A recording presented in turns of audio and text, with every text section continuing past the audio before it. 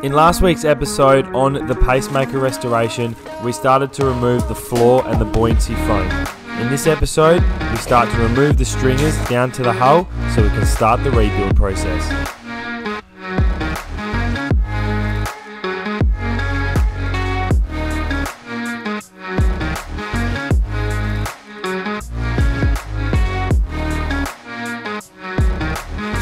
Oh man, she's going to be hot today, guys.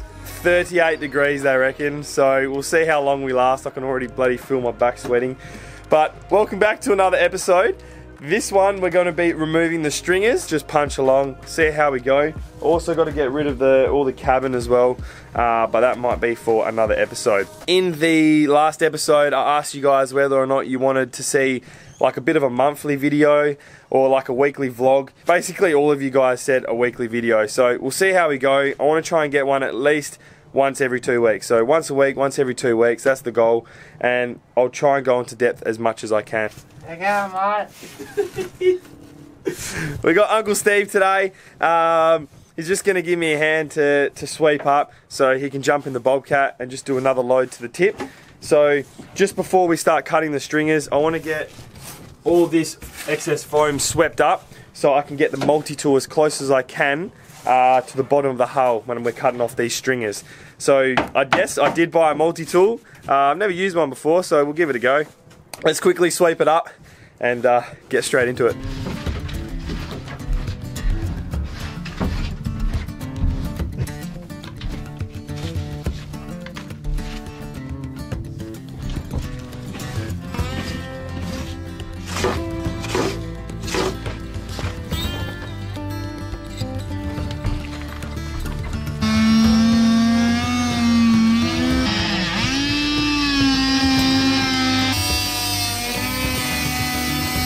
This is going to take ages.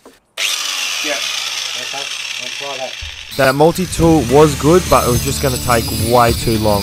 So I decided to get the angle grinder out and cut it with the multi-cutter. Yes, this is a bit of a cheapie, but it is a two-year replacement and the grinders get absolutely thrashed. So it's perfect for this application. You're the whole bloody bottom. Okay, so first stringer, I tried the recip saw or the multi-tool. Uh, it's gonna take. It was gonna take a long time. Ended up buying this grinder with the multi-cutter on it, and that thing just plowed through. I stayed about 10, 15 mil above the top of the hull. Let's get this middle one through. Get the the starboard side one gone, and then we can work around where the engine bay was for the inboard.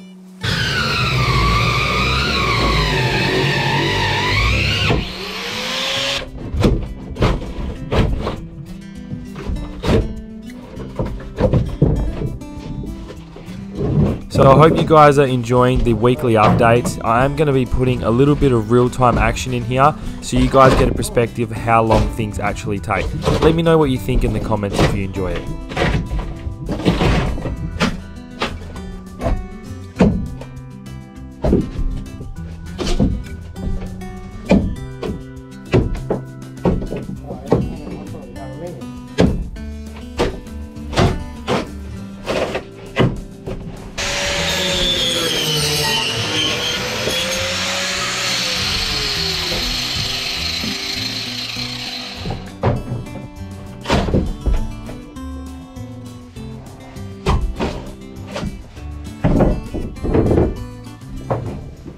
That crowbar, lifesaver. I suggest buying one because it just saves you heaps of time. Acts as a hammer, the whole lot. The angle grinder with the multi-cutter just cuts through the wood like butter. Multi-tool, I think that's going to come in handy a little later on when we want to trim the rest of the stringer down to the hull. I think that will come in handy. Uh, just for now, it's a little bit slow. It doesn't look too bad. Look how dry the wood was underneath. I reckon it looks like it's still fresh. Yeah, it looks pretty, looked pretty good. It was just like the top, probably 15, 20 mil was rotten where the, the floor was sitting.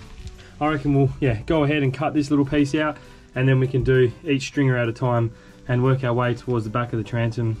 You can see where I actually stopped cutting the floor there so it's got another 200 mil or so so I'll get rid of the rest of the floor and then finish off the, the stringer removal.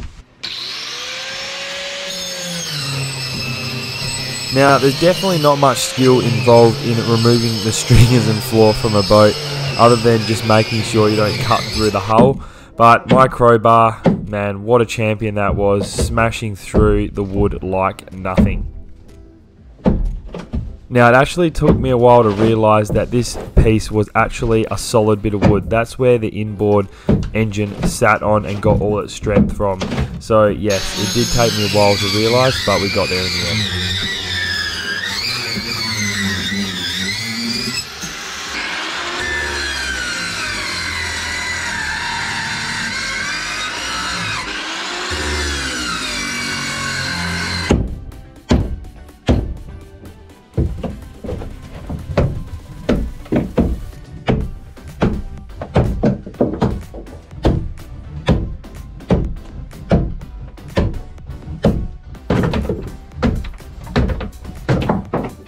Uncle Steve, your recording here is on point, mate. Can really see what we're doing. Good stuff.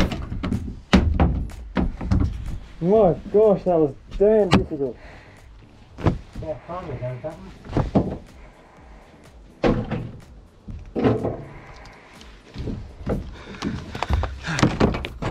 Okay, There where the water goes down Yeah. there.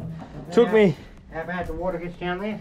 took me a while to notice, but that was just solid wood, because that's basically where the inboard engine sat on. That's where it's got all its Oh, strength. Bloody boat together. Yeah, mate, that was that was about six inches thick of just laid up wood. Whew.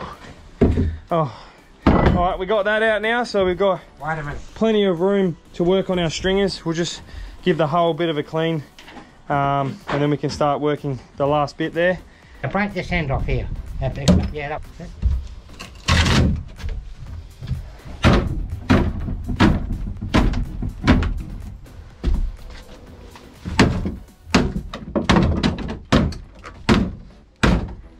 Pretty solid. Chuck it in a bobcat.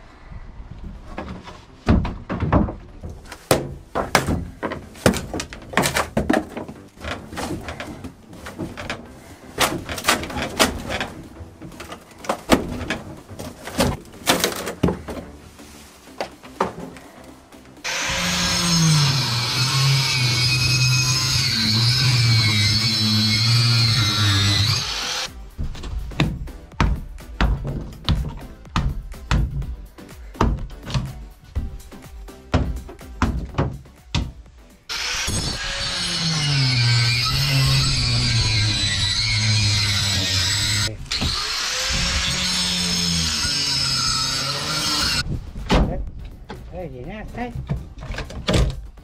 You can trim all that up later on. How come easy? Okay, hopefully you can hear me all right, but uh, we've just removed these inner stringers, so it gives us access to cut a line down this here, the fiberglass. So we'll remove this one here. They can't hear you properly with that bloody mask on. Sorry, Chitch. Okay. So we've done the starboard side, uh, probably about 200 mil off the transom. We just removed this last stringer here, and I reckon we'll probably do the transom in another video because, yeah, it's taken a little bit longer than we thought to cut these stringers out. They they weren't as rotten as we thought, so cutting into dry wood's a lot easy, uh, a lot harder than cutting into rotten wood. That's for sure. Uh, rotten wood is basically gone, so you're just cutting the fiberglass. But let's get this last stringer out, remove the rest of it, attach to the transom, clean up the hull a bit, and then uh, we'll call it a day.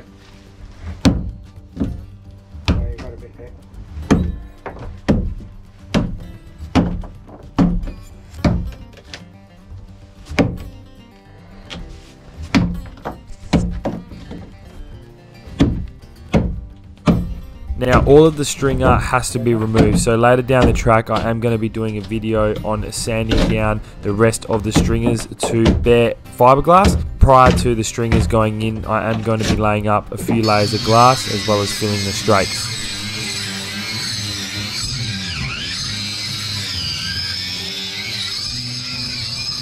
Now there definitely was areas where the wood was damp, but most of it was actually pretty dry, so it was quite hard to cut through. This did take quite a bit of time. I think I might have to cut a bit more.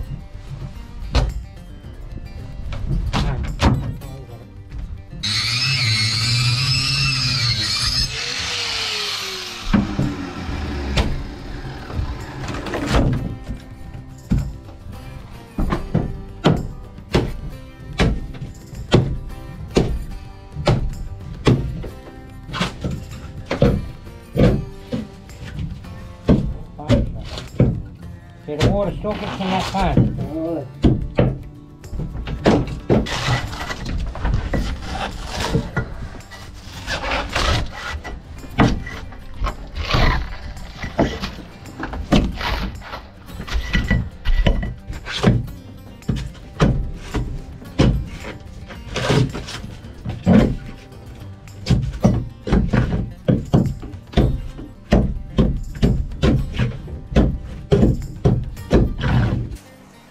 are done. I think it's close to 1, 2 o'clock, so she's raw and hot now. So I think I'm going to call that a day. But all the stringers are out to the transom and to the cab. So what we're going to do is uh, we'll just give it a bit of a sweep up, call that a day, and then next week we'll uh, get onto the transom or the cabin, one or the other. Um, I need to cut this table out. It's been good use at the moment, so I left it in. Cut that out, cut all the transom out. This time we're going to be leaving the outer skin, so we're going to cut all the transom out from the inside. So we'll remove the inner skin, the marine ply, clean it all up, and then uh, we can start putting in the new stuff. That's it guys, hope you enjoyed it. See you in the next one. Alright, I'll look around the boat now. Alright. There. Yeah, it looks not too bad at all. Pretty good. No rotten wood there anymore now. No, it's all gone now. and out.